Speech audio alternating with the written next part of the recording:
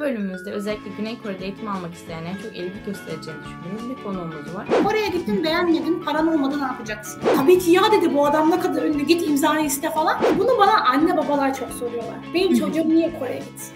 Japonya ile Kore'de arasındaki diplomatik sorunların bile çözülmesine kadar yardım etmiş bir dizi. O kadar tutulmuş yani. Kendisiyle görüşmüşüm hatta kendisine demiştim ki Türkiye'de sizin çok fazla fanınız var haberiniz olsun falan. Sizce hangi bölümleri okumak isteyenler Güney Kore'ye gitmeyi tercih etmeli? Küçük okullar yabancı öğrencileri almak için birçok konuda çok yardımcı oluyor. O kadar zorladı ki beni psikolojik olarak. Neden? Çünkü Kore'de öğle yemeklerini en azından benim çalıştığım yer hep beraber yiyordu. O imzayı duyduğu an hemen tabii ki dedi, tabii ki veririm falan. O yüzden bence bir yıllık dil okulu çok önemli. Öğrenci Seul'e yakın olmak istiyor ama Seul'e yakın okuyabilmek için parası yok.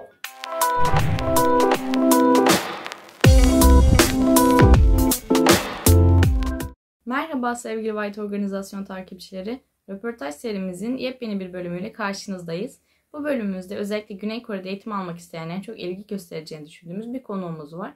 Konuğumuz Güney Kore'de eğitim almak isteyenlere ücretsiz danışmanlık hizmeti veren Koresel'in sahibi Yeşim Hanım. Keyifli seyirler. Hoş geldiniz Yeşim Hanım. E, teklifimizi kabul ettiğiniz için teşekkür ederiz. Bize biraz kendinizden bahsedebilir misiniz? Tabii ki. Öncelikli olarak ben de bu teklifiniz için teşekkür ederim. Genelde soru soran taraf ben oluyorum. Bugün böyle bir makyaj falan da yaptım. Röportaj olacak diye birileri bana soru soracak diye. O yüzden benim açımdan da güzel oldu. Teşekkür ederim. Ben e, Yeşim Atış. Şu anda Avrupa'da yaşıyorum ama e, ondan öncesinde Kore'de 5-6 e, yıl kadar, 5 yıl kadar üniversitelerin bünyesinde Türk öğrencileri Kore'ye götüren, e, getiren hem danışman hoca hem yardımcı abla gibi bir görev üstlendim. Bu sebepten dolayı Kore'deyken üniversitenin bünyesinde çalıştığım için Kore'deki eğitime dair, danışmanlığa dair öğrencilere rahatlıkla yardımcı olabilen biriyim diyebiliriz sanıyorum. Uzun yıllardır dediğiniz gibi Güney Kore'de eğitim görmek isteyenlere danışmanlık hizmeti veriyorsunuz. Bunu yapmaya nasıl karar verdiniz? Bu nasıl başladı? Yani doğrusunu söylemek gerekirse aklımda böyle bir plan ya da böyle bir iş yoktu. Yani bana çok uyan bir meslek ama 2015 yılının sonlarında ben Kimpo Üniversitesi'nden bir proje teklifi aldım. Oradaki profesörlerden birinden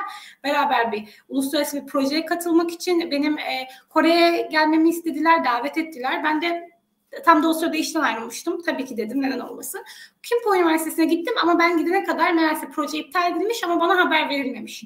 Öyle olunca ben ne yapacağım derken tam o sırada Kore'ye gittikten bir ikinci gününde falan Uluslararası Ofis e, Müdürü bana hem babalık yapan hem de tüm öğrencilere oldukça fazla yardımcı olan o zamanki müdürümüz bana e, gel bir istersen bizimle beraber bu ofiste çalış bizi Türkler, Türkiye'den öğrenci almak istiyoruz biz sana işi öğretelim sen de bize yardımcı ol deyince e, o zaman aslında serüvenin başladı. O zamandan beri yani ben bunu 2016'dan beri yapıyorum. Şu anda 6 yıl olmuş. 6 yıldır yeri geldi part time olarak, yeri geldi full time olarak, şu anda da online olarak üniversitelere yardımcı oluyorum. İlk başta Kimpo Üniversitesi için sadece yardımcı oluyordum. Artık diğer üniversitelerde de çalışmaya başladım. Sizin kendi bölümünüz neydi? Normalde ben Türkiye'de Çince mütercim tercümanlık, yan dalda İngilizce mütercim tercümanlık mezunuyum. Ama e, Kore'ye olan ilgim sebebiyle Çinceyi okurken Koreceyi artık kendi başıma öğrenmiştim. Sonra Çin'e giderken gidince de Koreceyi bayağı bir geliştirdim. O yüzden Kore'ye gittiğimde topik 6 almıştım direkt. Koresel Eğitim adında binlerce takipçisi olan bir Instagram hesabınız var ve burada dediğiniz gibi e, ücretsiz e, Kore'de eğitim danışmanlığı veriyorsunuz. Bu danışmanlık hizmeti neleri kapsıyor? E, hangi konularda yardımcı oluyorsunuz? Şimdi öncelikli olarak aslına bakarsanız eğitim danışmanlığına dediğimiz zaman e, danışmanlık sürecinin bir tek eğitim e, sürecini kapsıyor olması gerekiyor. Yani bir üniversiteye başvuru yapıyorsunuz. O üniversiteye başvurduğunuz süreçte üniversiteyle gerekli iletişim, üniversiteyle konuşma, e, belgelerin hazırlanması, belgelerin neye göre hazırlanacağı ve benzeri. Aslında eğitim danışmanlığı bir tek bunu kapsıyor. Ama ben tabii ki de bir tek burada bırakamayacağımız için öğrenciyi vizeye dair herhangi bir soruları olduğu zaman da vizeyle alakalı e, süreçte yardımcı oluyorum. O yüzden genel olarak olaya şöyle bakabiliriz. Hani ücretsiz danışmanlık dediğimiz şey aslında benim anlaşmalı olduğum üniversiteler üzerinden ücretsiz danışmanlık. Hı hı. Ücretli danışmanlık yapmıyordum ama bu aralar artık öğrenciler yani lütfen abla biz hani sana para vermek istiyoruz. Lütfen bizim bu başka üniversitelere de başvurmamıza yardımcı ol diye böyle tekliflerde bulundukları için artık yavaş yavaş ücretli danışmanlık da yapmaya başladım ama ücretsiz danışmanlık dediğimiz mevzu benim zaten beni gören, beni kendilerine referans olarak kabul eden e, üniversitelerinin tanıtımını Türkiye'de hiç sorun olmadan, limitsiz bir şekilde yapmama izin veren üniversiteler için ücretsiz danışmanlık sağlayabiliyorum. Evet. Ve bu süreçte de zaten dediğim gibi A'dan Z'ye, Kore'ye gidene kadar yani bir öğrenci Kore'ye ben gideceğim dediği andan itibaren benim anlaşmalı olduğum okullarla alakalı olarak kayıt yardım almak isterse A'dan Z'ye kadar Kore'ye gittiği güne kadar yardımcı oluyorum. Tabii ki ücretli olduğu zaman da aynı sistem ama tabii aradaki tek fark hı ister istemez ücretli olunca bana ekstra bir ücret verilmesi gerekiyor. Çünkü üniversitelerin sistemi hepsi farklı olduğu için benim çok daha araştırma yapmam ve uğraşmam gerekiyor diğer üniversiteler için. Özetlemek gerekirse e, normalde anlaşmalı olduğunuz üniversiteler için e, ücretsiz danışmanlık veriyorsunuz. Ama diyelim ki anlaşmalı olmadığınız üniversitelerde başvurmak istiyorlar. Her şekilde danışmanlık hizmeti alabiliyorlar sizden. Tabii ki burada önemli olan şey öğrencinin profili de. Çünkü biraz uzatıyor gibi oluyorum ama bunu izleyen arkadaşların bunu çok iyi anlıyor olmaları lazım.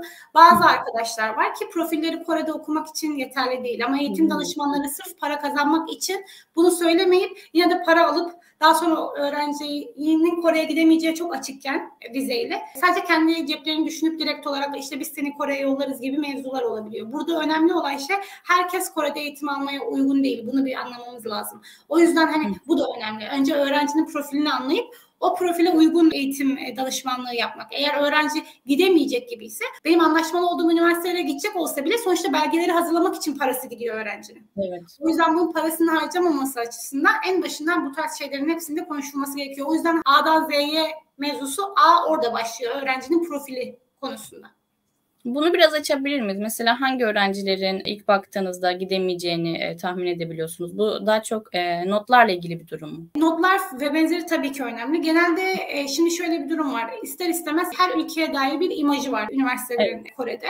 Türklere dair olan imaj da aslında 2-3 yıl öncesine kadar oldukça iyiydi. Ama şu anda maalesef ki özellikle erkek e, öğrenciler Kore'ye gidip daha çok e, eğitim dışında daha çok para e, kazanma amaçlı olabiliyorlar. Hmm. Yaşları büyük olan arkadaşlar oluyor. Mesela örneğin 16 e, yaşında 17 yaşında liseden mezun olmuş şu an 35 yaşında bir anda Kore'de okuma aşkı gelebilen arkadaşlar olabiliyor. Bu anlaşılabilir bir durum ama elçilik açısından da Kore'deki üniversite açısından da biraz riskli bir durum. Çünkü hmm. Kore'deki yani üniversiteler yani güven, güvenemeyebiliyorlar. Bunun sebebi de şu Kore'deki sistemde öğrencinin sorumluluğunu devlet vizeyi kendi vermiş olsa bile e, tüm sorumluluğu üniversiteye yüklüyor. Yani eğer üniversitedeki öğrenci kötü bir öğrenci ise bundan sonraki üniversiteye öğrenci alımlarında devlet o üniversitenin işini çok zorlaştırıyor. Yani vizeyi her ne kadar devlet Kore devleti veriyor olsa da e, senin hani üniversiteyi sorumlu tuttuğu için üniversiteler her zaman çok seçici olmak zorundalar öğrenci manasında. Bu sebepten evet. dolayı ben hep öğrencilere diyorum ki birinci olarak diploma notunuzu iyi tutun. Çünkü bir üniversiteye sizi en iyi şekilde gösterebilecek olan şey nedir? Sizin eğitime karşı olan tutumunuzdur. E bu tutumu da biz diploma notuyla görebiliyoruz ister istemez. Ama tabii ki onun dışında farklı farklı durumlar da olabiliyor. Bu şimdi çok karmaşık. Herkesin kendine özel bir sistemi oluyor. Çünkü işte evet. açık öğretim mezunu olabilir. Yarı açık öğretim sonra düz lise olabilir. Meslek lisesi ya da yaşı yüksektir ama e, çok iyi bir eğitim geçmişi, iç geçmişi, iş geçmişi vardır sorun olmaz gibi farklı farklı detaylar var. Bunu şimdi şudur şudur şudur dersek o arkadaşlar direkt olarak aa o zaman ben olmayabilirim diyebilir. İstisna istisnalar da var ama genel olarak ben öğrencilere her zaman önerdiğim şey diploma notunuzu güzel tutun ve Korece öğrenmeye çalışın. En önemlileri bunlar. Öyle düşünebiliriz. Ben uzun zamandır da hesabınızı takip ediyorum. Gerçekten çok yararlı bilgiler paylaşıyorsunuz. Önce onun için teşekkür ederim. Ee, bence Güney Kore'de okumak isteyenlere direkt size danışmanlık hizmeti almasalar bile e, hesabınıza da birçok şey öğrenebiliyorlar. Burs imkanları paylaşıyorsunuz, okuyabilecekleri bölümlerle ilgili şeyler paylaşıyorsunuz. Şimdi şöyle bir soru sormak istiyorum. Diyelim ki bir öğrenci liseden mezun oldu ve Güney Kore'de okumak istiyor. Atması gereken ilk adımlar ne olur? Nasıl bir yol çizmeli kendisine? Şimdi öncelikli olarak güzel sözleriniz için çok teşekkür ederim. Benim de niyetim aslında e, Instagram ya da web sitemi kurarken öğrenciler benden sadece paralı olarak ben para kazanayım değil olabilecek bütün bilgileri yazayım ki öğrencilerin maddi durumları yoksa eğer kendi başlarına evet. da bu işleri yapabilsinler. Yani e, ana niyetlerimden biri buydu ki böyle de yani sizin gibi arkadaşlarla da konuştukça bu amacıma aşağı yukarı bir şekilde hizmet edebildiğini görüyorum web sitemin evet. ve Instagram hesabına. Bu oldukça olumlu bir durum benim açımdan. Soruya geleceğimiz zaman da şöyle bir durum söz konusu. Eğer az önce de söylediğim gibi eğer öğrenci Türkiye dışında başka bir e, ülkede okumak istiyorsa Hı hı. Bu tabii ki her ülkeden ülkeye göre değişebilir ama Türkiye'de lise diploma notumuz belki bir yere kadar bizi bir yere götürüyor ama en önemli şey değil. Anladığım kadarıyla ya benim zamanımda lise diploma notu o kadar önemli değildi. Bizde daha çok ÖSS işte üniversite sınavına ve benzeri bakılıyordu. Şu anda anladığım kadarıyla lise diploma notunun bir artısı var ama daha çok size sınava sınavınıza bakılıyor sınav sonuçlarınıza, sıralamanıza ve benzeri. Şimdi Kore'de yabancı öğrencinin herhangi bir sınava girmesine gerek olmadığı için bakılacak şey ister istemez Korece seviyesi ve diploma notu oluyor. Bu ikisi oldukça önemli. Tabii bu şurada şu çok önemli.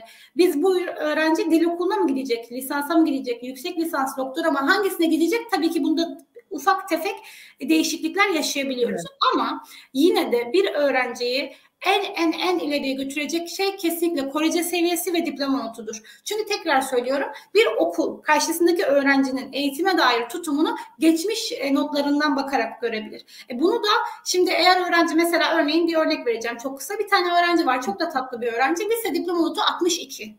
Öğrencinin olumsuz herhangi bir ben hareketini görmedim. Ama okul 62'yi gördüğü zaman dedi ki bu öğrencinin niyetinin gerçekten eğitim olduğundan biz emin miyiz? Çünkü eğer niyet eğitim olsaydı Evet, neden zamanında derslerine çalışmadı? Oysa ki öğrenci zamanında derslerine belki ilgili değildi. Şu anda Kore ile ilgileniyor. Belki Kore'ye gitse iyi bir şeyler yapabilecek. Ama gelin görün ki diploma notu değişmiyor. O böyle bir kere sizin alnınıza yapışıyor. Söz konusu Kore olduğu zaman.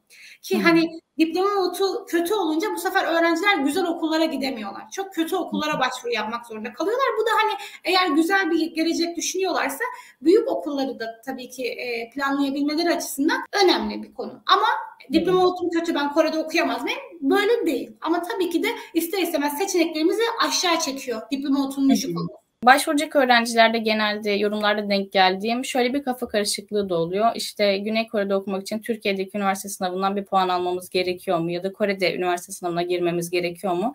E, az önce de söylediniz ama e, hani sınav durumuna bakıyorlar diye. Sadece lise diploma puanına mı bakıyorlar yoksa herhangi bir sınava girmeleri gerekiyor mu?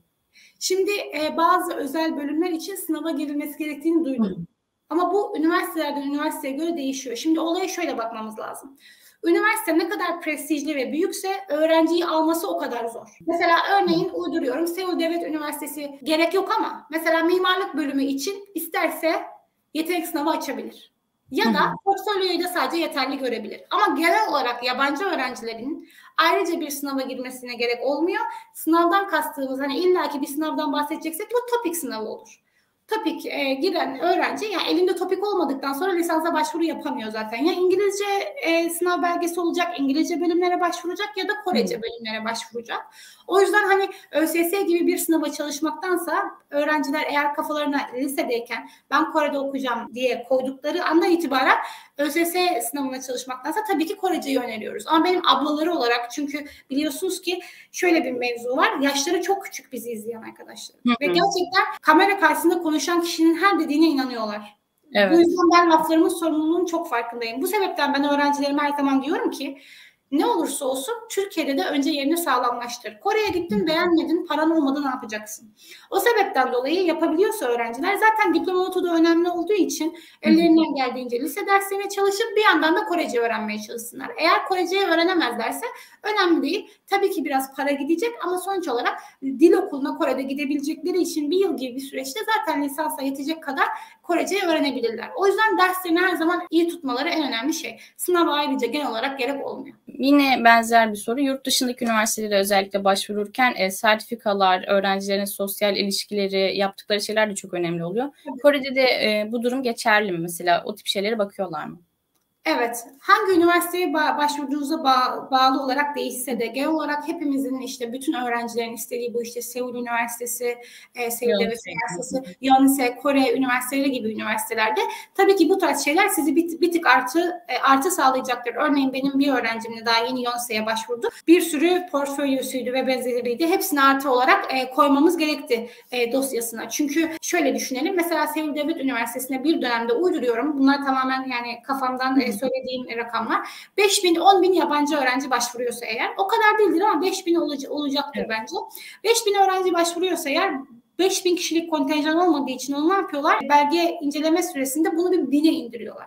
Şimdi 4, 4000 kişiyi atabilmek için bir sürü araya elemenize sağlayacak e, detay hmm. gerekiyor. Mesela işte portfolyo, sınav, diploma notu, topik seviyesi ve, ve benzeri gibi şeyler. İşte bu tarz büyük üniversitelere başvurduğunuz zaman sizin söylediğiniz sosyal projeler, gönüllülük projeleri, bilgi yarışmaları, kendinizi kaliteli ve yıllardır bu üniversiteleri planladığınızı gösteren bütün her şeye ihtiyaç var. Ama ortalama üniversitelerde bunlara gerek yok. Muhtemelen üniversiteye de bir şey katabilecek öğrencileri tercih ediyorlar. Yani tabii bir de şimdi şöyle bir durum da var. Şunu gözden kaçırmamamız lazım. Bu bizim söylediğimiz Sky dediğimiz üniversiteler yani Seul Devlet Üniversitesi, Kore Üniversitesi ve Yonsei Üniversitesi dünya sıralamasında da iyi yerlerdeler. Yani evet. sadece Türkler başvuru yapmıyor oralara. Bayağı bir yurt dışından yıllarını bu işe harcamış, yıllardır Kore ile ilgili olan öğrenciler de başvuru yapıyorlar.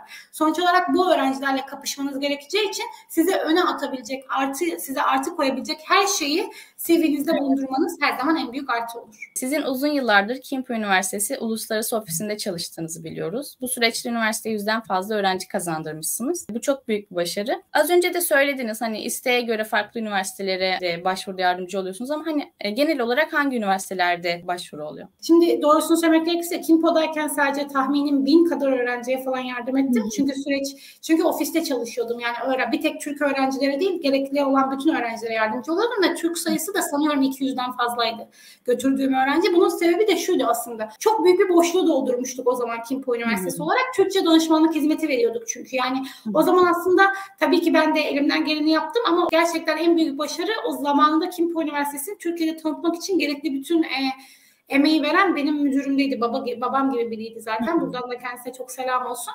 O yüzden hani e, bana çok güzel laflar ettiniz. Çok teşekkür ederim ama hani o başarıyı bir tek kendi üstüme almak istemedim. Yani e, onların da çok büyük emekleri vardı. Başka üniversitelere de başvuru yaptığım için tabii ki o 200 sayısı artık çok çok geçtik artık o e, sayıları. Şu anda Kimpo Üniversitesi'yle hala çalışıyoruz ama Kimpo Üniversitesi'nde ufak tefek bazı sorunlar yaşıyoruz. O yüzden yani üniversitenin kötülüğü ve benzeri değil de Kimpo adına bir tek korona değil ama korona ile beraber birçok okul e, dil okullarını kapatmak zorunda kaldılar ve şimdi tekrar toparlanamıyorlar. Çünkü tekrar toparlanabilmek için öğrenci lazım. Öğrenci için de belli sayılar lazım. O yüzden ben şu anda hani aktif olarak benim öğrenci yolladığım üniversite e, Kangun Üniversitesi Kyombok Üniversitesi ve Puchon Üniversitesi. Kimpo Üniversitesi'nde de dediğim gibi anlaşmalıyım. Hala anlaşmamız devam ediyor ama başvuru yaptığımız zaman öğrencilerin yeterli olmaması sebebiyle öğrencinin gidememesi gibi durumlar da söz konusu olabiliyor. Hmm. Bu tabii ki şimdilik bir durum.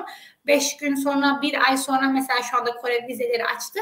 Artık yavaş yavaş bu sorunların da biz çözüleceğini umuyoruz. Ama tabii ki de bunu zaman gösterecek. Genel olarak benim çalıştığım üniversiteler Kangun Üniversitesi lisans olarak büyük ama dil okulu olarak küçük üniversitelerle çalışıyorum. Bunun sebebi de şu. Az önce de sizin dediğiniz gibi farklı üniversitelerle çalışıyorum ama farklı üniversiteler hem fiyat olarak çok pahalılar hem öğrenci bana ekstra para vermek zorunda kalıyor. Çünkü ben belki 6 ay boyunca o öğrenciyle sürekli ilgileniyorum.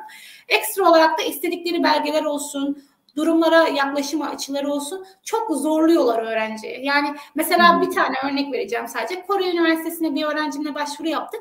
Bir belgede bir küçük bir eksiklik vardı ki onların istediği gibi hazırlamıştık belgeyi. Aslında bir sorun da yoktu ama neyse. E, küçük bir eksiklik vardı. Dedik ki biz tekrar Kore'ye posta yollamamız gerekti ve Kore'ye postalar da çok pahalı. Euro üzerinden ve dolar üzerinden olduğu için Türkiye'de. Dedik ki şunun taranmış halini acaba kontrol edebilir misiniz? Onu bile kontrol etmediler. Hayır biz elimizde belgenin kendisi olmadan maalesef ki kontrol edip size bir şey söyleyemiyoruz dediler. Hı Hani biz yolladığımız belgenin doğru olup olmadığını ikinci kez yollamak zorunda kaldık. Eğer yanlış deselerdi bir de üçü yollayacaktık. Bu evet. tarz mevzular sebebiyle aslında ben daha çok küçük okullarla çalışmaya çalışıyorum. Çünkü küçük okullar yabancı öğrencileri almak için birçok konuda çok yardımcı oluyorlar. Benim dışında başvuru yapmak isteyen arkadaşlara da hani söylemek için bunu söylüyorum. Eğer akıllarında bir eğitim danışmanıyla çalışmayıp kendi başlarına başvuru yapmak varsa küçük okullar bir tık daha yardımcı olabilirler büyük üniversitelere göre. Daha esnekler diyebilir miyiz daha yardımsever? Evet çünkü yabancı öğrenciye ihtiyaçları var. Şimdi Yonsei Kore evet. gibi üniversitenin sana bana ihtiyacı yok aslında başvuru yapmasına. Zaten binlerce başvuruları oluyor. Ama küçük üniversiteler bir tık daha öğrenci için yapabileceği ne var buna daha çok bakıyorlar. Ve zaten dil okuluna hangi okulda okuduğumuzun çok bir önemi olmuyor elimizde topik olduktan sonra. Çünkü önemli olan topik belgesini almak ve dil eğitim sistemi aşağı yukarı bütün üniversitelerde aynı oluyor. O yüzden genelde ben de öğrencilerime maddi durum konusunda sıkıntı yaşıyorlarsa en azından bir yıl kadar küçük bir üniversite öneriyorum. Binden fazla öğrenciye de danışmanlık e, vermişsiniz. 200'den fazlası Türktü dediniz. E, genelde sizin gözlemlediğiniz e, bu öğrenciler büyük bir çoğunluğu burslu mu okuma fırsatı elde ediyor yoksa ödeme yapmaları gerekiyor mu? Çoğunluk olarak söylersek. Yani şimdi dil okulunun dil okulu bursunu kapsayan burslar hükümet bursu gibi burslar oluyor. Örneğin geçen gün bir tane çok güzel bir hükümet bursu başvurusu yayınladık. Üç öğrenci başvurdu benimle. Yani bir tanesine sadece yardımcı oldum uzaktan. İsteyen kişilere de bilgi verdim. Benimle başvuru yapmayan arkadaşlar da vardı yani. Hani ben sadece gereken bilgiyi verdim. Kendileri başvuru yaptılar. Maddi durumları uygun değildi çünkü. Üç arkadaşımızın üçü de mülakatı geçti örneğin. Yani bunun dil okuluna bu tarz devlet bursu olsun ya da biraz daha POSCO bursları gibi burslar için bahsedebiliyoruz. Ama Normalde bir dil kursu bursu gibi bir şeyden pek bahsedemiyoruz. O sebepten dolayı bu benim gördüğüm bin küsur öğrenci de hani benim kendim direkt olarak danışmanlık yaptığım değil ama ofiste yardımcı olduğum hani arkadaşlar yanlış da bir bilgi vermiş olmayayım. Hani kendimi yalandan böyle büyük gösteriyormuş gibi olmayayım. Genel olarak benim hani ya danışmanlıktan öte yardım ettiğim bu öğrencilerin çoğu bursu dil okulundan sonra alıyorlar. Çünkü size en güzel bursu zaten en rahat alabildiğiniz burs topik bursu oluyor. Yani Korece bildiğinizi gösterdikten sonra üniversiteye girerkenki aldığınız burs. Tabii evet. ki dil okulu bursları ve benzeri var ama bunlar çok sınırlılar. Zaten örneğin hükümet bursu alıyorsunuz, başvuru yapıyorsunuz. Türkiye'den toplamda bir kişi, iki kişi, belki beş kişi alıyor. Ki bir de bu arada artık Kore mevzusu çok ilerlediği ve çok büyüdüğü için çok yetenekli arkadaşlarımız var. Gerçekten görseniz mesela benim bir öğrencim var işte şu anda. O hem e, hükümet bursuna başvurduk hem Yonsei'ye başvurduk. Daha liseden mezun değil topik altısı var. Hmm. Kendi başına öğrenmiş. O yüzden hani o tarz burslar biraz e, alması zor olduğu için genel olarak öğrenciler daha çok dil, dil bursu, topik bursuna kayıyorlar. Hani ilk bir yıl boyunca biraz paraları gidiyor evet ama topiği aldıktan sonra uygun eğitim alıyorlar. Daha çok ben bunu ben de bunu öneriyorum. Hani en kesin yöntem bu çünkü. Biraz e, anladığım kadarıyla üniversiteye tam başvurulacağı e, süreçte değil de öncesinde de bireysel çabayla elde ettikleri e, çok yardımcı oluyor öğrencilere. Kesinlikle. Yani zaten olaya biraz öyle bakmak lazım. Çünkü niye biliyor musunuz? Şey mevzusu var. Şimdi ben mesela Kore'ye gitmek istiyorum diyelim. Okey.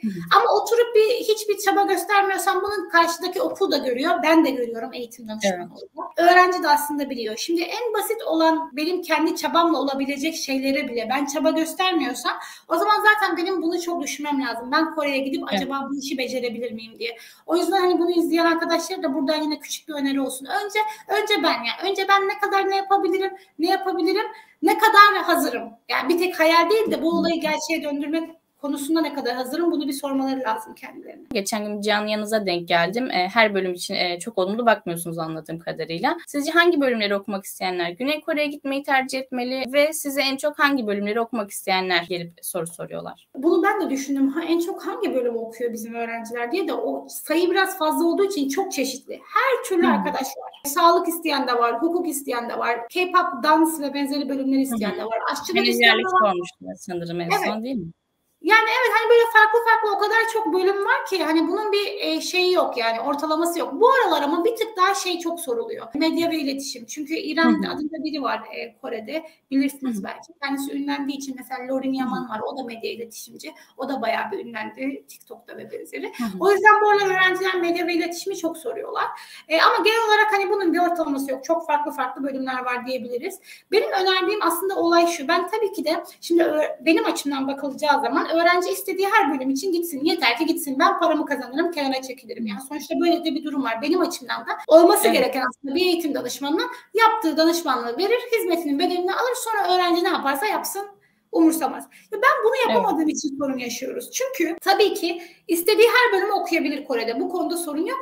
Ve hatta bu bölümleri okur ama asla iş bulamaz da diye de kimse de bir şey söyleyemez. Çünkü geleceği kimse bilmiyor. Evet. Ama ben şunu söylemeye çalışıyorum öğrencilere genel olarak. Şimdi Türkiye'de iş bulmak zorsa. Mesela Türkiye'de sekreterlik bölümü mezunu olan bir arkadaşın tabii ki de iş bulması bir mühendis arkadaşa göre kolay değil. Bu Kore'de farklı değil. Eğer bir yabancı olarak çok rahat iş bulabilmek istiyorsanız ya Afrika gibi ya da Türkiye'den çok daha az gelişmiş ülkelere gideceksiniz ki yabancı olmanız biraz bir farklılık katsın. Ya da eğer böyle Kore gibi ya da Avrupa gibi ya da Amerika gibi gelişmiş ülkelerde eğitim almak istiyorsanız sizi bir yere götüren Türklüğünüzün size bir artı sağlayacağı bölümler olmak zorunda. Evet. Çünkü öbür türlü diyorum ya Türkiye'de iş bulmak bir zorsa ben bunu her zaman söylerim. Kore'de bulmak 10 zor, 15 zor, 50 zor. Çünkü neden bir Türkiye alsınlar? O zaman evet. bizim Türklüğümüzün bize bir artı sağlaması lazım. Benim en çok önerdiğim bölümler Animasyon bölümleri. Neden? Koreliler dünyada animasyon konusunda çok ünlüler. Hı hı. Mühendislik bölümleri. Almanya madem pahalı, Kore neden olmasın? Çünkü Kore mühendislikte de iyi. robotik evet. bölümler, robotlarla alakalı yazılım. E bunlar da tabii mühendisliğe giriyor aşağı yukarı ama yazılım, büyük data, yani teknolojiye dair. Teknolojinin zaten Kore'de şu anda biliyorsunuz ki çok daha ileri düzeyde. Bu tarz bölümler. Hı hı. Endüstriyel tasarım gibi tasarım bölümleri ama bu tasarım bölümleri bizim Türkiye'de düşündüğümüz tasarım bölümler değil sadece. Teknolojiyle tasarımı buluşturabilecek bölümler. Yani biraz inovatif bölümler olması gerekiyor. Bir de öyle de bir sorun var. Kore'de şimdi bölümler genel olarak Türkiye'ye göre çok daha farklı. Biz mesela tasarımdan bizim Türkiye'de bahsettiğimizde Kore'de tasarımdan anlaşılan da farklı. Çünkü çok detay detay iniyor. Eğer Türkiye'ye gelip çalışacaklarsa aşçılık neden olmasın? Kore yemeklerini yapabilecek düzgün arkadaşlar neden olmasın Türkiye'de? Mesela bu kültür tanıtım, marketing denilen pazarlama ve benzeri konularının da benim Kore'nin çok iyi olduğunu düşünüyorum. Ama bu bir yabancı olarak ne kadar yabancıyı işe sokar bunu da kesin emin değilim. Benim gördüğüm kadarıyla en iyi mühendisler iş bulabiliyorlar Kore'de. Ama tabii ki bu bir tek mühendisler iş bulabiliyor demek değil. Eğer gerçekten kendinizi geliştirirseniz çünkü bir de bence Türkler olarak şunu çok gözden kaçırıyoruz. Çünkü bu da bize eğitimimiz konusunda verilen yanlış bilgiler. Bizde sadece Bizim meslek işe sokarmış gibi bir algılayış var. Mühendis olursan çok para kazanırsın. Doktor olursan yaşadın. Ama oysa ki olay meslek konusu değil bir tek. Ya biz bunu çok yanlış öğretiyoruz e, çocuklarımıza. Mesela bir örnek vereceğim. E, ben bir tane bir firma vardı benim Kore'de çalışmak istediğim ve benim yani dream job yani böyle şey hayalimdeki yer. Ya ben hani orası olsun o kadar istiyorum ki bilemezsiniz. Ve bir tane e, ilan paylaştılar. İlanda da inanır mısınız bir tek üstünde yeşim yazmıyor. Aradıkları her şey var. Kadın olursa ekstra puan. Gelişmekte olan üniversite ülkelerden birinde olursa ekstra puan. Korece bilirse ekstra puan. Çince Birleşmiş Milletler dillerinden bir tanesi bilirse ekstra puan. Şu şu şu işleri yapmış olsun, bu zaman kadar şunu yapmış olsun her şeye sahibim. Başvurdum. Alamadım işi. Gitmişler başka birini almışlar. Kız da bir hafta sonra mı bir ay sonra mı ne işi bırakmış. E sevmemiş Öyle. adam beni. Yani Hı-hı. benim e, şey yaptığım kişi ben çünkü çok heyecanlanmıştım. Bir de zaten çok hızlı konuşan biriyim. Heyecanlanınca Hı-hı. daha da hızlı konuşunca kişi benim yalan söylediğimi düşünmüş. Yalan söylüyor. Bu kadar bunları yapmış olamaz. Hani CV'sini bizim istediğimize göre uygun yaptı diye düşündü sanıyorum. Bilmiyorum. Oysa ki gerçekten o CV'ye sahiptim. Olmadı. Şimdi bu benim emeklerimin boşa gittiğini mi gösteriyor? Şanssızlık. Evet. Ya o evet. kişiyle, o müdürle benim aramızda bir şey olmadı. O uyumu sağlayamadık. Yine başka bir iş daha oldu. Yine benzer. Bu zamana kadar yaptığım işler her manada uygun. Yine olmadı.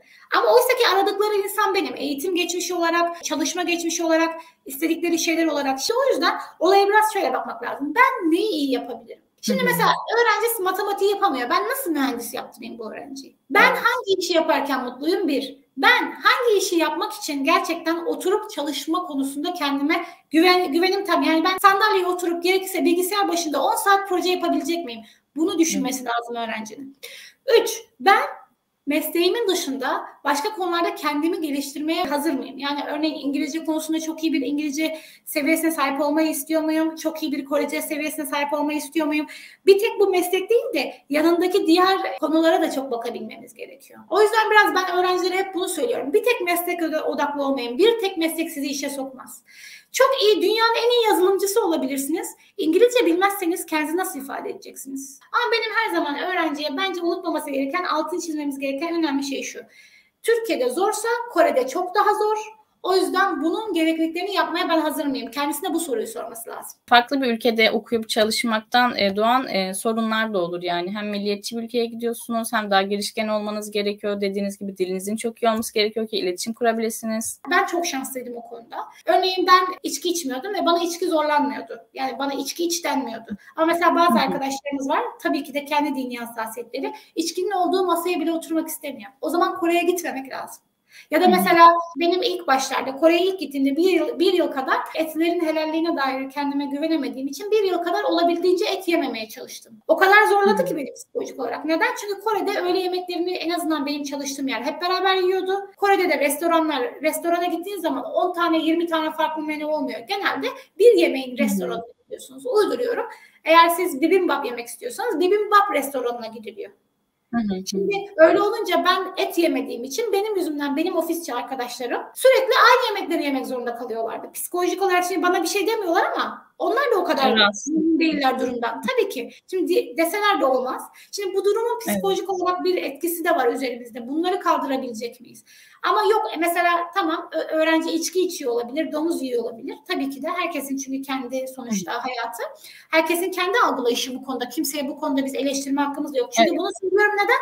Yaşı küçük olanlar altta eleştiri eleştiriyorlar. Bizim sebebini anlamadığım bir şekilde. Kimsenin hayatına bizim karışmak gibi bir e, şeyimiz yok. Domuz yemek evet doğal olduğu kadar yememek de doğal. Çünkü kişisel bir karar. Neyse domuzu yiyor ve benzeri ama kültüre ayak uyduramıyor. Şimdi o yüzden bunların hepsini çok e, düşünmek gerekiyor. O yüzden bence bir yıllık dil okulu çok önemli. Önce bir Kore'ye gidip bir görüp bir anlamak açısından. Aa okey böyle bir sistem var. Şu şöyle tamam hocalar böyleler. Kültürü böyle. Aa demek ki ben böyle yaparsam bu kadar Korece öğrenirsem şunu yapabilirim. Yapamazsam bunu yapabilirim gibi. Para manasında evet maddi durum olarak maalesef ki pahalı. Yani hı hı. Kore ucuz olmayacak Türkiye'den ama doğruya doğru konuşacaksak Türkiye'de özel üniversite okumaktansa Kore'de eğitim almak bin kat daha mantıklı bana sorarsanız. Evet. Yaşadığınız zorluklardan bahsetmişken mesela e, gönderdiğiniz, yerleşmiş yardımcı olduğunuz öğrencilerden genelde ne tip e, yorumlar alıyorsunuz? Olumlu ya da olumsuz. Yaşadıkları zorluklar olabilir.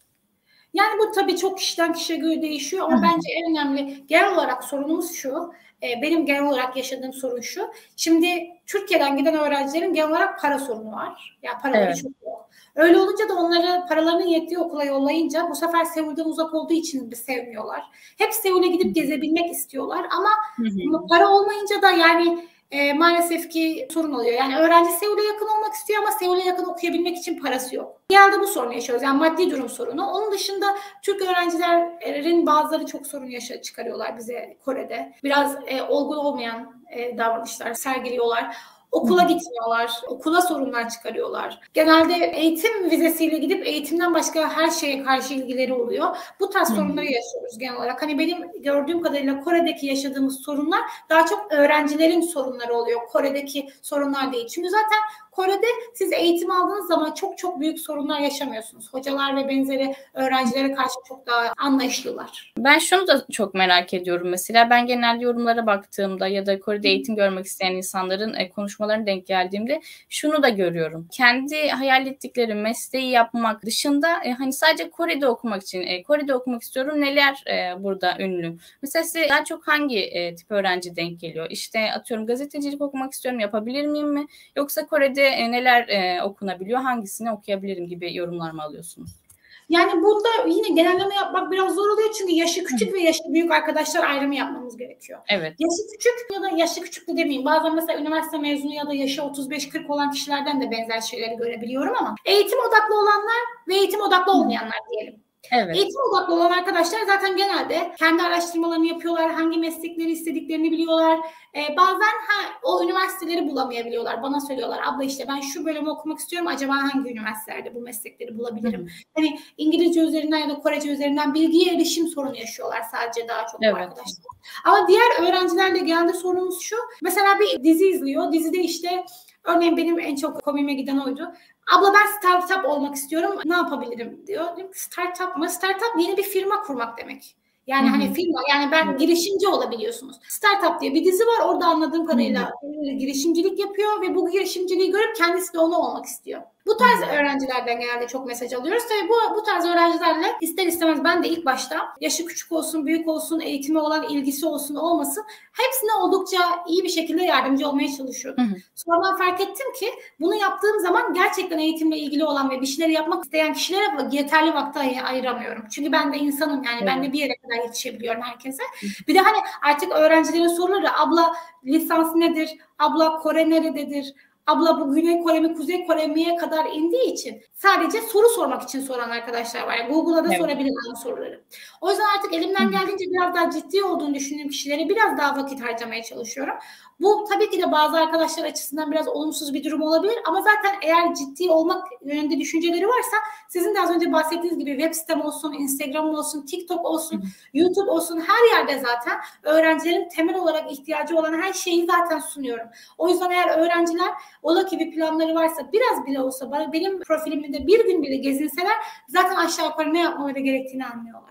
O yüzden evet. bunu yaptıktan sonra hani ben Genel olarak hani gerçekten ne yapmak istediğini, ne istediğini bilmeyenler ve gerçekten bir şeyler yapmaya çalışanlar ama parası olmayanlar. Bir de öyleleri var. Yani çok evet. bir şeyler yapmak istiyor, çok ciddiler, gerçekten çok pırıl pırıl öğrenciler ama maddi durumları yok. Öyle olunca da benim de elimden hiçbir şey gelmiyor maalesef ki. Tabii ki elimden gelen danışmanlığı yapıyorum. Olabilecek en ucuz yöntemleri söylüyorum. Maddi manevi yapabileceğim her şeyi yapmaya çalışıyorum ama tabii para söz konusu olduğu zaman ister istemez tıkanıyoruz. Öğrenciler oraya gittiklerinde çalışma vizesiyle ilgili bir sıkıntı yaşıyorlar mı yoksa part-time'mışlarda çalışma imkanları oluyor mu? Bu değişiyor. Eğer dil okulu için gidecekse öğrenci ilk 6 ay çalışması yasak. İlk 6 ay zaten e, yani resmi olarak çalışması yasak. 6. aydan itibaren öğrenci eğer eğitimine devam ediyorsa yani eğitim ücretini ödediyse okula e, ve derslerine düzgün gittiyse bu çok önemli. Öğrencilerin şunu hiçbir zaman unutmaması lazım. Ben öğrenci vizesiyle gittiysem eğer ne yapmam lazım? Öğrenci olmaya gitmem lazım. Part time ikinci şey. Yani hani şunu kesinlikle anlıyorum. Öğrenciler tabii ki de maddi durum konusunda sıkıntı yaşadıkları için çalışmak istiyorlar. Çalışmak evet. sorun değil. Ben Kore'ye gittiğim söyledim ya az önce. İkinci günümü ne ben zaten iş teklifi aldım üniversiteden ve ben de çalışmaya başladım. Ama gelin görün ki hiçbir zaman derslerim benim ikinci, üçüncü planda olmadı. Bu evet. çok önemli. Öğrenciler bunu anlamıyorlar. O yüzden eğer derslerini birinci planda tutarlarsa 6. aydan itibaren okul izniyle haftada 20 saatlik çalışma izinleri oluyor. Lisans ya da yüksek lisans, doktora ve benzeri giderlerse Kore'ye gider gitmez evet. çalışma izinleri oluyor. O yüzden genelde öğrenciler zaten üniversite okuyan öğrencilere geldi onu söylüyorum. Bir şekilde önce bir gidin hani bir kapağı atın deyim yerindeyse. Kore'de belli bir süre sizi geçindirecek paraya sahip olun. Ondan sonrasında zaten siz siz Kore sistemine alıştıkça eğer ben ekmeğimi kazanacağım bir şekilde bir şeyler yapacağım buna ben psikolojik olarak hazırım diyorsanız genelde iş buluyorsunuz. Güney Kore'de okumak isteyenlerde şöyle bir düşünce var. E, Güney Kore'de e, tıp, e, hukuk gibi bölümlerin okunamayacağını düşünüyorlar. E, çünkü bu bölümler e, ülkemizde olduğu kadar özellikle yurt dışında okunması da e, çok zor bölümler. E, özellikle yabancı öğrenciler tarafından.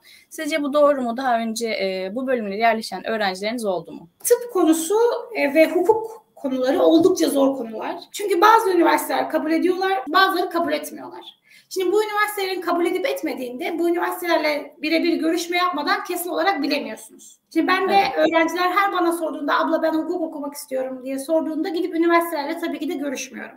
Çünkü zaten evet. üniversitelerinde başka işi yok mu ki benim maillerime sürekli cevap versinler. Evet. Ama benim kesin olarak bildiklerimi söyleyebilirim size. Daha fazla araştırma öğrencileri öğrencilere kalmış olsun. Normalde tıp bazı üniversitelerde kabul edilmiyor ama Seul Devlet Üniversitesi tıp bölümüne yabancı öğrencilere aldığını söylüyor. Hatta gerekirse bir sınavdan da bahsedildiğini hatırlıyorum ama doğru mu değil mi yüzde yüz emin değilim. Hukuk içinde benim bildiğim Kangun Üniversitesi var benim beraber çalıştığım üniversite. O da yabancı öğrencileri alacağını söyledi. Yani en azından tıp okumak isteyen öğrenciler için Seul Devlet Üniversitesi, hukuk okumak isteyen öğrenciler için de Kangun Üniversitesi bir seçenek olabilir. Ama şunu unutmamak gerekiyor. Genelde bana tıp okumak istediğini söyleyen öğrencilerin profiline baktığınızda Türkiye'de de tıp kazanabilecek öğrenciler değiller. Yani benim genel olarak gördüğüm yüzde yüz hepsi böyledir diyemem ama konuştuğum arkadaşlara düşünürsek daha evet. çok dizilerden görüp heveslenen arkadaşlar oluyor ya da hukuk, hukuk içinde aynı şey söz konusu. Tıbbı okumak isteyen biri için Kore'de gerçekten önce bir bunu sormak lazım. Senin neyi beklediğinin farkında mısın? Ben kendim topik altım var. 6 yıldır topik altım var. İşte 2 yılda bir düzen yeniden giriyorum. Ben kendime Korece seviyesi olarak güvenmem. Tıp okumak için. Çünkü neden? Bir sürü Çince kelimeler var ki ben Çince evet. bir de.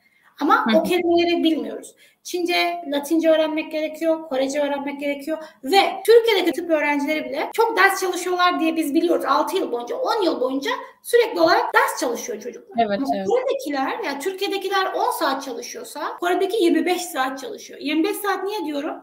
Uyumuyor, 24 saatte çalışabileceğini 25'e çıkarıyor. Deli gibi ders çalışıyorlar. Ve 6 yıl okuduktan sonrasında uzman doktor olarak çalışılamıyor diyebiliyorum. Hatta biri de var, biri de var Kore'de şu an çalışan doktor bir kız var. Herkes onu öneriyor. Onu e, söylüyor bu konu olduğu zaman ama o kendisi de doktor olarak çalışmıyor. O bir laboratuvarda sanıyorum bir araştırmayla alakalı bir iş yapıyor kendisi. Yani Hı. doktor olarak Kore'de çalışamıyoruz zaten. Çünkü bir de uzmanlık falan da almak gerekiyor. Bizim çok ders çalışmaktan anladığımız şeyle Korelilerin çok ders çalışmak dediği şey aynı şeyler değil. Evet bunu algılamak gerekiyor. Çünkü bizim Türk öğrencilerden dil okuluna gidip bile geçemeyen çok var. Çünkü mesela dil okulunda bile öğrencinin her gün okula gitmesi lazım. Onu gitmiyor. Evet. Onu yapamayan öğrenci tıp okumak bana çok gerçekçi gelmiyor ama tabii ki yapabilen vardır yapar. Mesela bir öğrencim vardı tıbbı düşünüyordu. Tamamen arkasındaydım. Çünkü ciddiydi. Ne istediğini biliyordu. Araştırmasını yapmıştı. Hukuk söz konusu olduğu zaman da hukuk okuyabiliyorsunuz ama hukuk okun, okununca Türkiye'deki gibi değil. Türkiye'de ne oluyor? Hukuk okunduktan sonra 2 ya da 3 yıl staj yapıyorsunuz sonra avukat oluyorsunuz. Evet. Kore'de kadar kolay değil. Kore'de mezun olduktan sonra 2-3 yıl boyunca hukuklu, hukukçu olabilmek için, avukat olmak için bir sınavları var. Ona çalışıyorlar. Koreliler bile 2-3 yıl boyunca deli gibi çalışıyor. Bunun yabancının da geçmesi gerekiyor bu sınavı. Hadi diyelim geçti. Bu sefer de sadece Kore içinde çalışabiliyor. Çünkü Türkiye'ye gelirse eğer Kore hukukunu çalışmış olduğu için tekrar Türkiye'de 2-3 yıl daha Türk e, hukuku dersleri alması evet. lazım. Bu sistemi bilmiyor. O yüzden hani biraz zor bölümler. Bir de şimdi şöyle düşünmek lazım. Bir Türk avukata Kore'de ne kadar ihtiyaç olur? Hani çünkü evet. Türk'le alakalı var. Ben görmüştüm Kore'de. Yok değil. iki kişi görmüştüm Türk avukat Kore'de Hı. olan. Evet onlar çalışıyorlardı ama onlar bir tanesi mesela Türk bir firmada çalışıyordu. Türk firmanın Kore şubesinde çalışıyordu. Belki ihtiyaç olabilir ama sürekli olarak bu işten bir para kazanılabilir mi onu düşünmek evet. lazım. Çünkü normal Koreliler için, Korelilerle alakalı bir iş için bir Türk'ü kullanmayacaklardır. Koreli'yi kullanacaklardır. E sizin Türklerle alakalı davalara bakmanız gerekecek. O da bir yılda evet. kaç tane Türk'le alakalı dava evet. olur?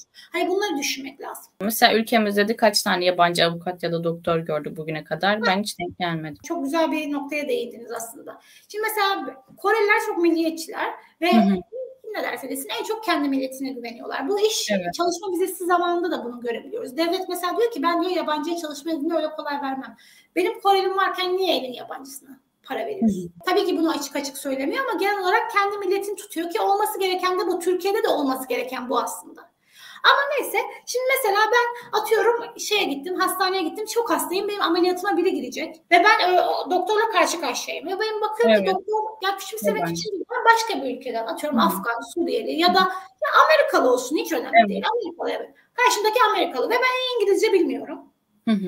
Ben şimdi Amerikalı adamla mı konuşmak isterim? Benim derdim nedir? İyi mi anlatabilmek isterim? Türk'le mi? Kesinlikle. Ben tabii Türk'ü tercih edeceğim. Çünkü iletişim konusunda bir sıkıntı yaşarsak bunun sorumluluğunu kim alacak? Evet. Beni önüne kadar götürebilir. Aynı şey psikologlar için de geçerli. Kore'de Hı-hı. psikolog olmak isteyen çok arkadaş var. Kim, Hı-hı. neden bir Türk psikologdan danışmanlık alsın? Ben burada Türkiye'de mesela psikoloğa gidecek gideceğim zaman bir Almandan mı tercih ederim, bir Türk'ten almayı mı tercih ederim? Olaylara biraz böyle bakabilmek lazım. O yüzden diyorum ya bir tek meslek değil de daha böyle büyük bir küme olarak bakabilmek gerekiyor. Dediğiniz gibi o zaman medya, animasyon, mühendislik gibi daha uluslararası öğrencilerin önü açık bölümlerde e, daha çok tercih edilebilir. Öğretmenliği Güney Kore'deki en prestijli mesleklerden biri olduğunu biliyoruz. Şunu merak ediyorum. Yabancı öğretmenlere nasıl bir bakış açısı var? Mesela e, ana dil İngilizce olan öğretmenler de İngilizce öğretmenliği yapıyor bildiğimiz kadarıyla. E, Türk öğrenciler mesela bunu tercih edenler oluyor mu? E, nelerle karşılaşıyorlar? Şimdi bu konuda çok büyük bir yanlış anlaşılma var. Biz bu konuyu ne zaman konuşsak altına hemen biri yazıyor ki ama işte şu ben görüyorum Instagram'da İngilizce öğretmenliği yapıyor. Şimdi öncelikli olarak Kore'de İngilizce öğretmeni olacağımız zaman yöntemlerden bir tanesi İngilizce öğretmenliği vizesi almak. Bu İngilizce öğretmenliği vizesini sadece ve sadece ana dili İngilizce olan ve İngilizce eğitimi yapabileceğini kanıtlamış olan. Yani bu ne demek? İşte gerekli eğitimleri almış olan kişilere veriyorlar. Bir. İkincisi de Kore'de Koreli ile evli olan yabancı gelinler. Bu yabancı gelinler çok iş bulamadıkları ve onların istihdamı da çünkü gün geçtikçe Kore'de yabancı gelin sayısında büyük bir artış var. Bunların şimdi istihdamını sağlayabilmesi gerekiyor devletin. O yüzden bu kişilere önünü açıyorlar iş iş konularında ve benzeri. Mesela Türklerin Kore'deyken çok rahat iş bulamamasının sebeplerinden biri de o. Çünkü çok fazla Türk gelin var ve onların oturum izinleri olduğu ve onların istihdamının önü açıldığı için firmalarda ister istemez onlarla çalışıyorlar. Türk biri ihtiyaç olduğu zaman. Benimle çalışmaktansa. Çünkü bana çalışma evet. izni almakla uğraşmak istemiyor. Onun zaten oturum Hı. izni var. Gelin görün ki ben öğrenciyim mesela. Ben de öğrenciyken İngilizce öğretmenliği yapıyordum. Part time olarak. Ya ben Koreli bir öğrenci vizem var. Öğrenci vizemin yanında part time olarak İngilizce öğretmenliği yapıyorum. Bu farklı bir şey. Evet. Ama Hı. ana olarak benim ana mesleğim İngilizce öğretmenliği diyeceksek bunu zaten ya Koreli evde olacağım ya da ana dilim İngilizce olacak. Bu. Evet. Öncelikli olarak bu. O yüzden genelde gördüğünüz zaman Koreli şey Kore'de okuyan Türk öğrenciler İngilizce öğretmenliği, Türkçe öğretmenliği ve benzeri yapabiliyorlar. Çünkü onlar part time. Onların başka vizeleri var. O vizelerine ek olarak iş, iş yapıyorlar. Ana vize kendisi o değil. Bu bir. İkincisi genelde yabancıların öğretmenlik yaptığını çok şahit olamıyoruz okullarda. Çünkü öğretmenlik memuriyet olduğu için memuriyeti de biliyorsunuz daha çok kendi vatandaşları alabiliyor. Ama ve lakin uluslararası okullar oluyor. İşte Amerikan okulları, İngiliz okulları. O okullarda yabancı hocaları istiyorlar evet. İşte resim hocası, matematik hocası, edebiyat hocası ve benzeri. Ama benim gördüğüm hep onlarda da İngilizce ana dil istiyorlardı. Belki çok yetenekli olursunuz, çok iyi İngilizceniz olur ve benzeri. Belki sizi alabilirler ama ben bunun ihtimalinin çok yüksek olmadığını gördüm kendimce. Ama imkansız değil. Bilemem. Yani ben de sonuçta Kore'deki 50 milyon kişinin her birinin hayatını bilemiyorum. Bir de yabancı hoca olabilmek için en kolay yöntem genel olarak akademisyenlik, üniversitede eğitim vermek. Ama o da yine benim gördüğüm kadarıyla çünkü üniversitelerde de çalıştım. Üniversite geçmişim de var hani Kore'de. Genel olarak İngilizcenin konuşulduğu ya da gelişmiş ülkelerden olan hocalar oluyor. Yani Kore'de de bir öğrenci birinin profesör olabilmesi için Amerika'da, İngiltere'de ve benzeri okumuş olması gerekiyor. Çünkü şimdi Türkiye'nin uluslararası manada düzgün makale yazan üniversite sayısı bile kalmadı artık. 2-3 tane belki Boğaziçi, ODTÜ. 3-4 tane üniversiteden artık uluslararası e, saygın dergilerde makale evet. çıkıyor. Mesela ben Okan Üniversitesi mezunuyum. Okan Üniversitesi'nin uluslararası manada ne akademik başarısı var ki ben profesör olabilmek için Okan Üniversitesi'ni kendime referans göstereyim. Koreliler için bile profesör olmak çok zor Kore'de. Yabancılar için çok daha zor. Örneğin benim bir hocam vardı. Kendisi Kanadalıydı. Benim de danışman hocamdı tezim için. O adam Korelilerden bin kat daha fazla çalışıyordu yani. Sürekli çalışıyordu. Sürekli makale yazıyordu. Sürekli araştırma yapıyordu ki kendisi yükselebilsin. Evet. Ki bu kişinin eşi de Koreliydi bu arada. Yani yine vize sorunu yok. Şimdi bakın tek olaya giriyoruz. Vize sorunu ayrı bir konu. Zaten bu kişinin bir vizesi var. O zaman şey yapmak daha rahat oluyor. iş bulmak. Neden? Çünkü zaten benim oturum iznim var. Ben de şu an Avrupa'dayım. Evet. Benim iş bulmam mı daha kolay? Sizin Türkiye'den başvurmanız mı daha kolay? Tabii evet. ki benim. Neden? Çünkü benim oturum iznim var. Burslarla ilgili bir minik sorumuz daha var. E, burs başvurusu yapacak öğrencilerin e, nelerine bakılıyor? Tekrar edebilir miyiz onu? Burs almak için gereken şartlar neler? Burstan bursa göre değişiyor. POSCO bursu var, Güney e, Kore hükümet bursu var. Ondan sonra bazı derneklerin verdiği burslar var. Hı hı. Bu derneklerin verdiği burslar genelde Kore'ye gittikten sonra cep harçlığı bursları gibi oluyor. Yani mesela ben lisans okuyorum.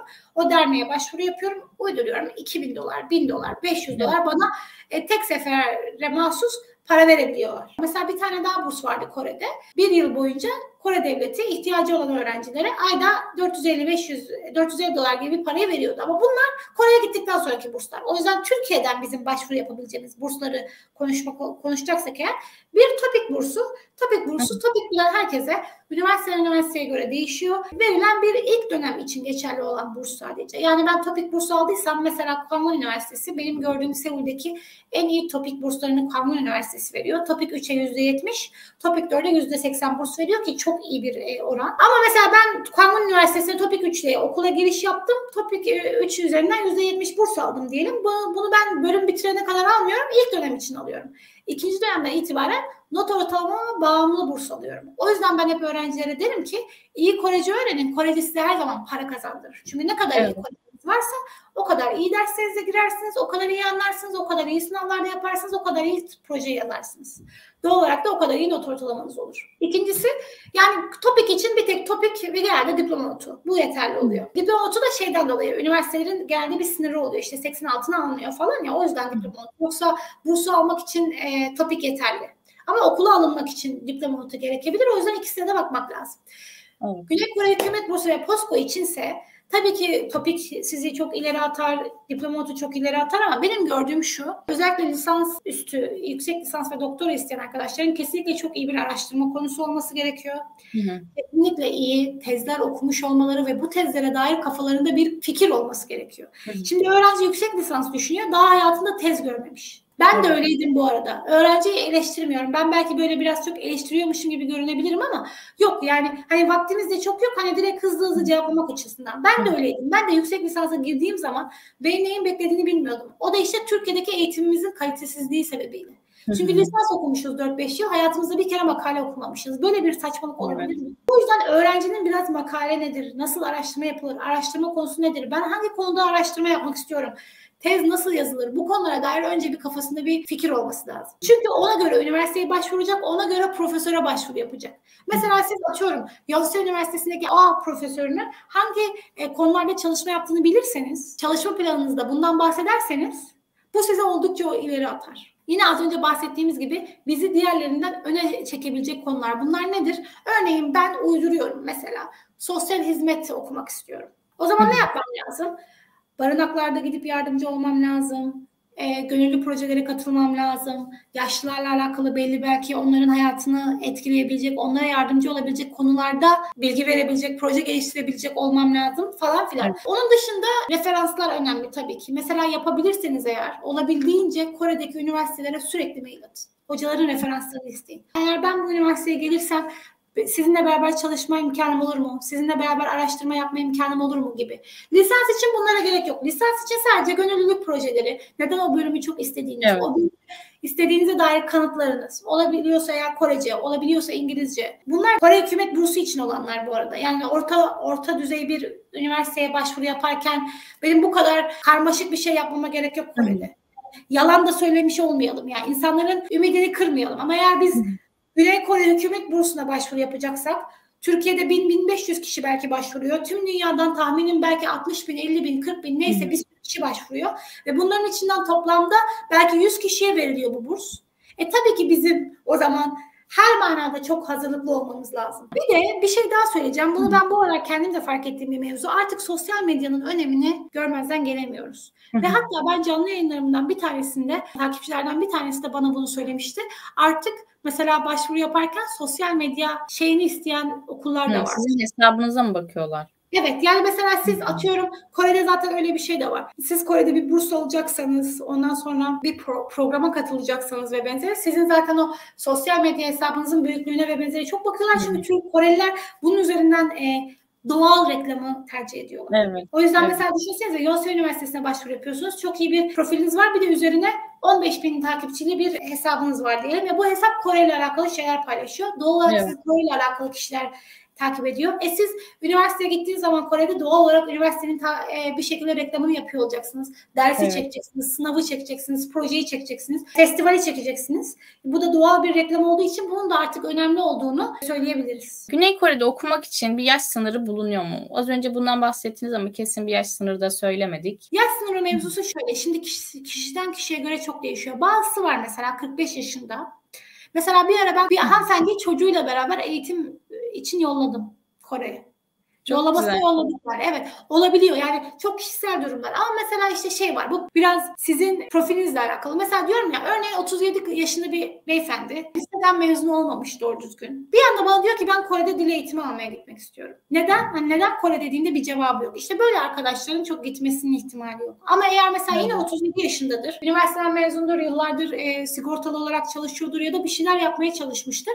Yani kendisini niyetinin eğitim olduğunu gösterebilen herkes için bence yol açık. Burs programları için yaş sınırı var. O ayrı. Evet. Ama normal hani dil okulu ve benzeri için illaki bir yaş sınırı var diyemiyoruz. O kişinin profiliyle evet. alakalı böyle diyelim. Şimdi geldik en önemli sorulardan bir tanesine. Siz e, Güney Kore'de e, öğrencilere yardımcı olmak, oraya yerleşmeleri sağlamaya gönül vermişsiniz gördüğüm kadarıyla. Sizce Güney Kore'de bir insan e, yaşamayı veya okumayı neden tercih etmeli? Avantajları neler? Bunu bana anne babalar çok soruyorlar. Benim çocuğum niye Kore'ye gitsin? Çünkü benden güzel bir cevap duymak istiyorlar. Hani evet. karşılarında da muhatap olabilecekleri biri var ya. Ben diyorum ki çünkü kızınız seviyor. Çünkü çocuğunuz seviyor. Bitti. Bu çocuk evet. şimdi gitmese 3 yıl sonra gitmek isteyecek. 5 yıl sonra gitmek isteyecek. Benim takipçilerim var bana yazıyorlar. Ben işte şu an iki tane çocuğum var. İşte içimde ukde kaldı ben gitmek istiyorum diye. Evet. Yani sonuç olarak bu çocuk bir şekilde gidecek. Ya da hep gidemedim aklımda kaldı diyecek. İkincisi bana sorarsanız ben bu zamana kadar e, şu anda eğitim aldığım üçüncü Türkiye dışında üçüncü ülkedeyim. Türkiye'de de eğitim gördüm. Başka ülkelerde de eğitim görme fırsatını gördüm şükürler olsun. Türkiye'de özel üniversitede okumak kadar saçma bir şey yok. Burslu okusanız bile bence mantıklı değil. Çünkü bir eğitim kalitesi çok düşük. Tabii ki bir koç, bir sabancı onlar farklı ama mesela benim gibi birinin de istediği bölümler o üniversitelerde yoktu. Evet. Yani ben hani çok iyi bir öğrenci olabilirim ama istediğim bölüm o üniversitede olmadıktan sonra bir manası yok ki. Ben Okan Üniversitesi'ne de iyi bir sıralamayla girdim. Özel üniversitede okuduğunuz zaman eğitime belki para vermiyorsunuz ama okul dağın başında genelde. Yola bir sürü para. Ben zaten ne yapıyorum? Türkiye'de part-time çalışmam gerekiyor kendimi geçindirebilmek için. Türkiye'de öğrencilerin part-time çalışma kültürü çok yok. Öğrencinin evet. para kazanması çok kolay değil. E üçüncüsü maalesef ki artık öğrenciler Türkiye'de kendilerine gelecek göremiyorlar. Maalesef. Evet. Bu demek değil ki Kore'de çok büyük bir gelecekleri var. Bunu kimse iddia edemez. Çünkü bu çok kişisel bir durum. Ne kadar uğraştığınızla alakalı. Ama gelin görün ki en azından Türkiye'de 3-4 yıl harcayacağınız vakte Kore'de eğitim görerek hem en azından bir Korece öğrenerek hem de bir meslek edinerek e, girebilmeniz en mantıklısı olur. Ekstra olarak da benim gördüğüm kadarıyla Kore gelişmiş devletler içerisinde en uygun fiyatlara üniversite okuyabileceğiniz ülkelerden biri. Çin de böyle. Çin'de çok güzel burslar var. Çin'le ilgilenen arkadaşlar için de hani bunu altını çizelim. Çünkü ben hep bunu söylüyorum. Maddi durumu Kore'ye yetmeyen arkadaşlar Çin'de düşünebilirler. Çin'in de çok güzel geleceğe dair fırsatlar yaratacağını düşünüyorum. Eğer gelişmiş bir ülkede yaşamak ve bir yandan da çalışabilmek de istiyorsanız Çin'de çalışma izni yok ama Çin zaten burs veriyor. Güzel burslar veriyor.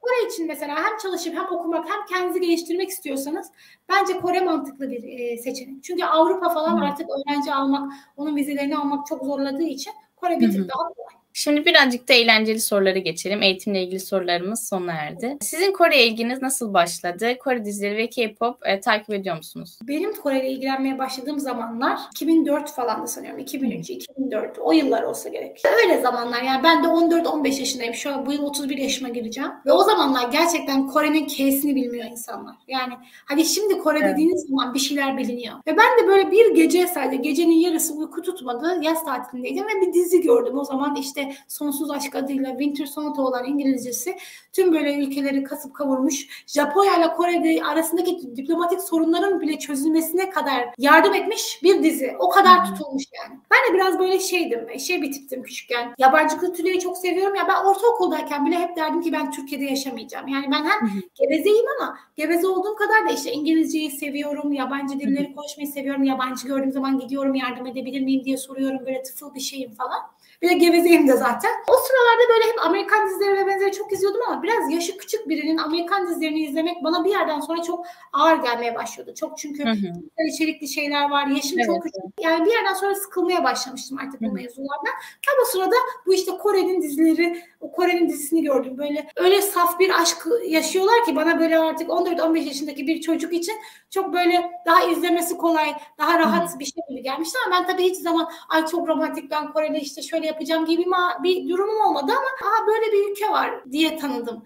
Kore ile ilgilenmeye başladıktan sonra o diziyi bitirdikten sonra başka bir dizi izle. İşte aa Korece'nin dili böyleymiş falan derken Kore restoranında ve benzeri çalıştım. Koreceyi öğrenmek istiyordum. Tabii e, daha sonrası farklı bir yöne geçti ama genel olarak benim de işte tanışmam birçok Kore sever gibi bir diziyle başladı. Maalesef ki çok K-pop ya da güncel Kore dizilerini çok izleyemiyorum ama e, Çinceyi çok unuttuğum için Korece'de de başıma gelmesin diye sürekli Korece bir şeyleri açmaya çalışırım. Yani ben evet. daha çok eğlence programları, biraz daha böyle hani kişilerin hikayelerini dinleyebildiğim. Bazen bu aralar de o tarz programlar çok yaygın. Yani gerçek insanlar gerçek hikayelerini yolluyorlar. Biraz da işte psikolojik olarak bunlar bakılıyor bilmem ne falan. O tarz konuları daha çok izlemeyi seç, seviyorum dizi ve K-pop'tan öte. Onu da zaten Korecemi unutmamak için sürekli te- televizyonda onları açıyorum. Bir diplomatik ilişki bile düzeltti dediniz. Ya Kore'nin gerçekten o marketing olayı e, acayip başarılı başarılı.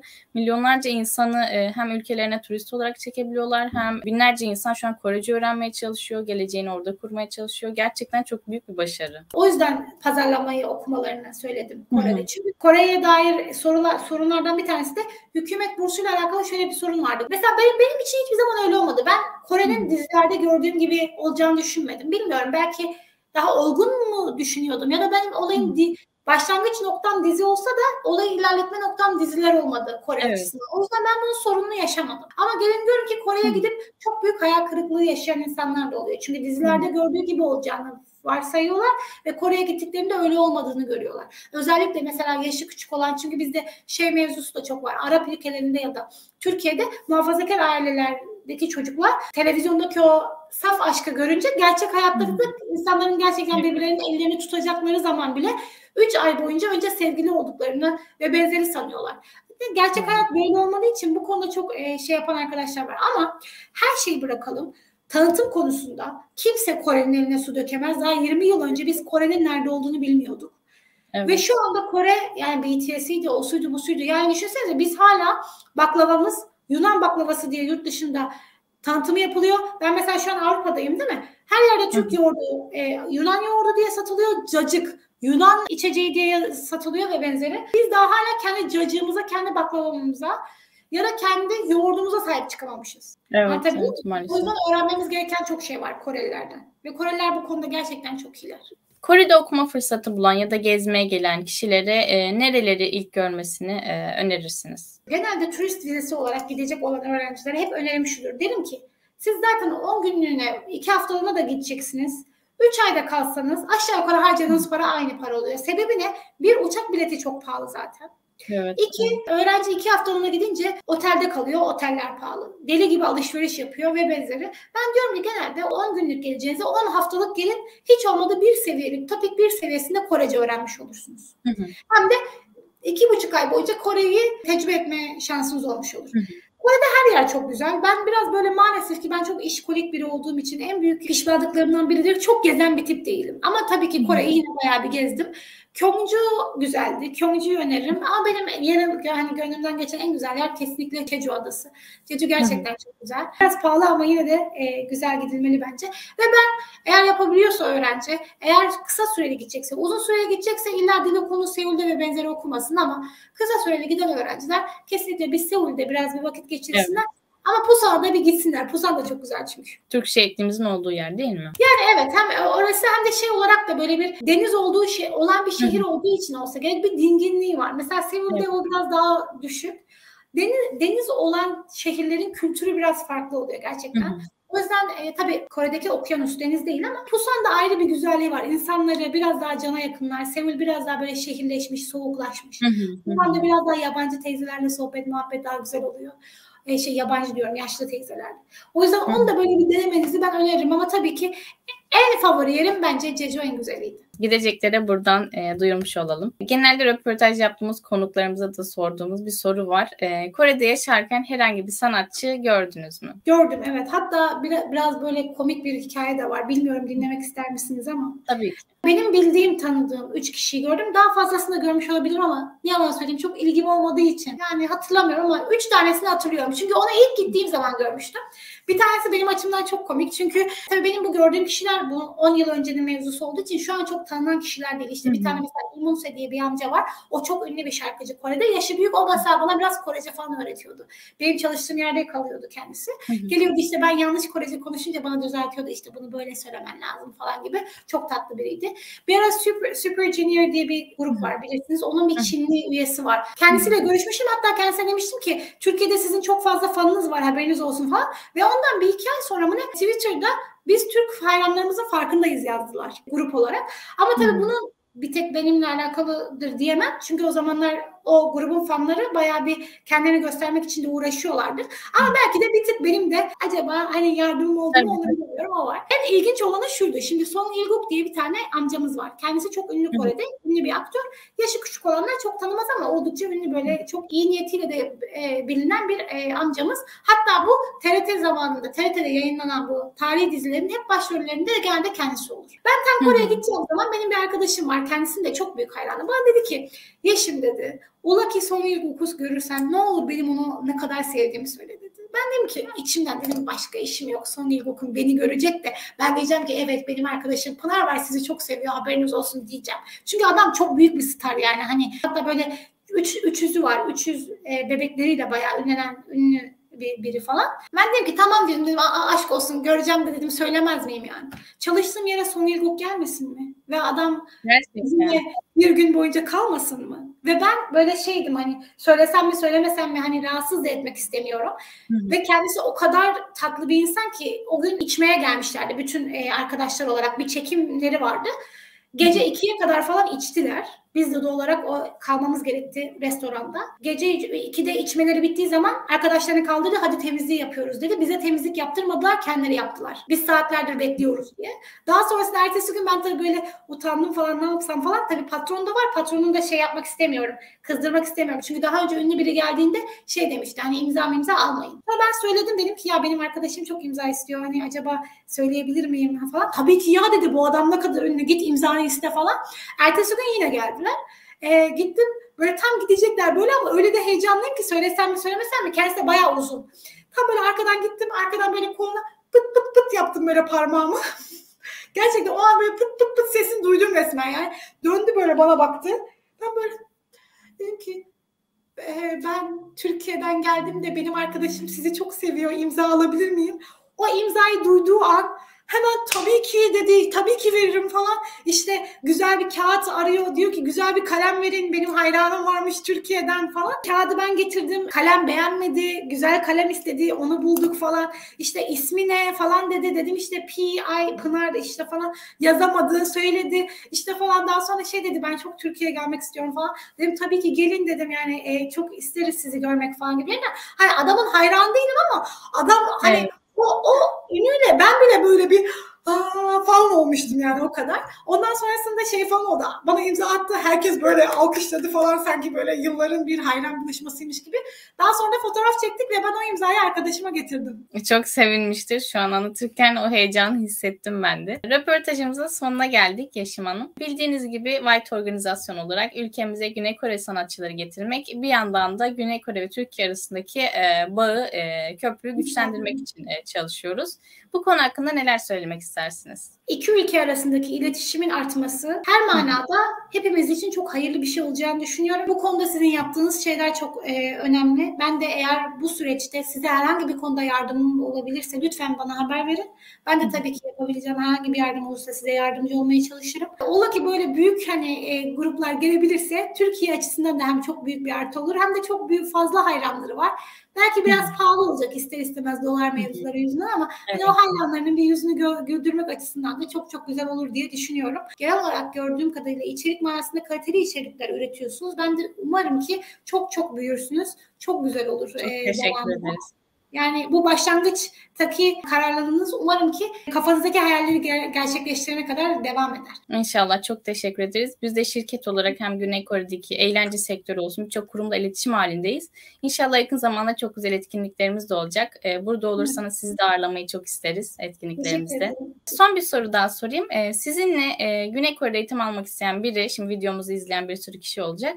E, nasıl iletişime geçebilir? Koresel eğitim, Instagram hesabını e, takip etmelerini, takip etmelerini oradan mesaj atmalarını öneririm. Ben artık çünkü mesajlara yetişemediğim için benim çok samimi arkadaşım Betül bana yardım ediyor artık mesajlara yardımcı olmak için, e, cevaplamak için. Buradan ona da selam olsun. Kendisi gece demiyor, gündüz demiyor, hafta içi, hafta sonu demiyor. Sürekli olarak tabii ki bazen mesajlara 5 dakika sonra geri cevap vereceğiz diye evet. söz veremesek de genel olarak bütün mesajlara olabilecek en kısa sürede cevap vermeye çalışıyoruz. Ola ki öğrencilerin kafalarında eğitime dair bir soru varsa koresel.com'dan da genel olarak Hı. sık sorulan sorular kısmına falan bakarlarsa hani benim illa benim çalıştığım üniversiteye gitmek zorunda değiller ama üniversite eğitime dair herhangi bir fikir edinmek istiyorlarsa orası da yardımcı olacaktır. Ya yani biz tabii burada biraz böyle daha ciddi konulardan konuştuk. Normalde Hı. biraz daha böyle canlı yayınlarla falan biraz daha e, gülerek daha böyle sohbet muhabbet ortamı gibi olabiliyor. Burada şimdi çok sorumuz da olduğu için ister istemez biraz konu odaklı olduk ama genel olarak hani benim bu işi yapmaktaki sebebim tabii ki de para kazanmak. Neden para kazanmayacaksam ben neden bu işi yapayım ama onun dışında bana en büyük motivasyonu veren şey öğrencilere ablalık yapmak oluyor. Yani örneğin bir hayalleri, bir planları varsa beraber bunu inşa etmek, beraber konuşmak oluyor bazen bir şey yardımları ihtiyaçları oluyor. Ben yapabiliyorsam yani ne mutlu bana. O yüzden hani ben de isterim ki onlar da ellerinden gelebildiğince rahatlıkla yani çekinmeden e, para maddi durum konusunda korkularını bir tık arka plana atarak benimle konuşabilsinler. Çünkü benim açımdan o çok önemli yani hani öğrencilere para kaynağı olarak değil de daha çok insan olarak yaklaşmanın ben bu iş için çok elzem olduğunu düşünüyorum ama maalesef ki çok bu tarz insanlar yok. Ben de illa ke- kesinlikle böyle bir insanım diyemem. Bence yalan söylemiş olurum. Zaten insanın kendi özüne çok güvenmemek, çok inanmamak lazım.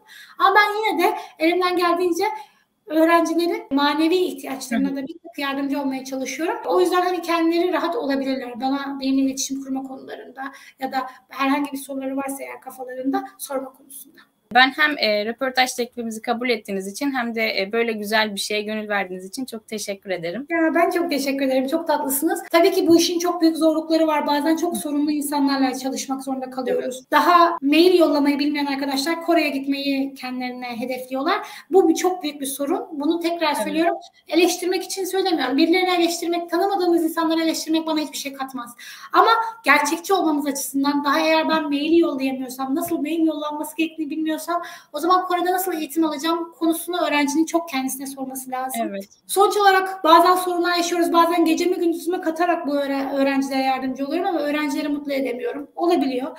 Ama yine de bu süreçte böyle devam edebiliyor olmamın sebebi sizin gibi ya ablalığınızı biz hissediyoruz ya da teşekkürler bize yardım ediyorsunuz diyen insanlar sebebiyle. Bu da benim ruhumu çok doyuruyor. Birilerine bir şekilde yardımcı olabiliyor olmak. O yüzden ben de size teşekkür ederim. Hem beni böyle bir şey için tabii teklif verdiniz ne demek hem de sonuçta siz de benim bir şekilde ruhumu doyurmuş oldunuz. Çok sağ olun. Çok teşekkür ederiz. Röportajımızın sonuna geldik. Tekrar teşekkür çok teşekkür ederiz. Ben teşekkür ederim. Kendinize çok iyi bakın. Bay bay. Siz de. Röportajımızın sonuna geldik. Umarım keyifle seyrettiğiniz ve aklınızdaki soruların cevabını bulduğunuz bir röportaj olmuştur. Serimiz yepyeni konuklar ve yepyeni sorularla birlikte devam edecek. Lütfen yorum yapmayı ve yeni videolarımızdan anında haberdar olmak için kanalımıza abone olmayı unutmayın. Bir sonraki videoda görüşmek üzere. Kendinize iyi bakın.